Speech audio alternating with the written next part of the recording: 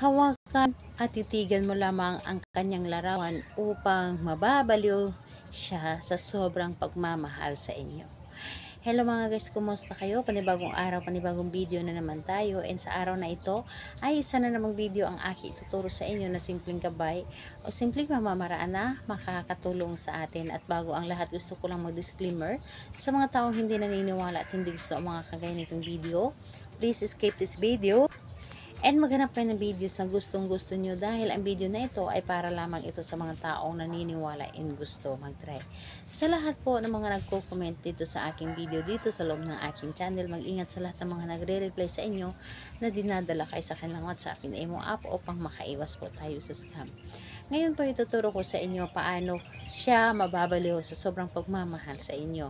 Siyempre naman, kahit naman ay sino, ay gustong gusto natin na yung mga partner natin ay sobrang mababaliw sa pagmamahal sa atin dahil ang sarap na pakiramdam na pinaparamdam sa atin ng ating mga partner na mahal na mahal nila tayo yung tipong pinaparamdam ng ating partner sa atin na sobrang importante tayo sa buhay nila yung tipong wala na silang ibang hahanapin pa dahil ikaw lamang ay sapat na para sa kanya at hindi hindi na ito maghanap pa ng iba.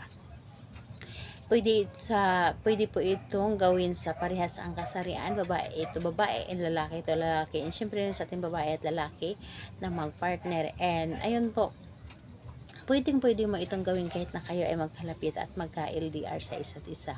Dito po is ang kailangan mo lamang dito ihanda pwede ka maghanda ng larawan na nasa loob ng inyong cellphone or larawan na hawak mo mismo yung nakapotocopy mismo. Depende sa inyo kung ano ang meron kayo na larawan niya.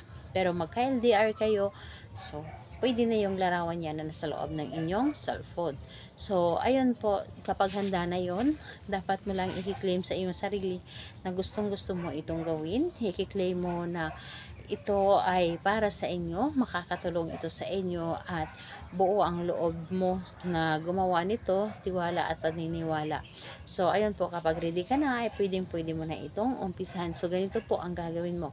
Kunin mo ang inyong cellphone or larawan ng inyong target. Kunin mo at titigan mo lamang ito sa kanyang mga mata. Or titigan mo ito at kausapin mo lamang ito. Sabihin mo, mahal na mahal kita at wala ka nang wala na akong ibang hahanapin pa dahil ikaw ang gusto ko makasama habang buhay at mamahalin mo rin ako na higit pa sa iyong sarili. Ako lamang ang mamahalin mo habang buhay at hindi hindi na mo kakayanin na mawala ako sa buhay mo. Hindi hindi mo kakayanin na magkalayo tayo. Hindi hindi mo kakayanin na um, hindi hindi mo kakayanin na mawala ako sa buhay mo.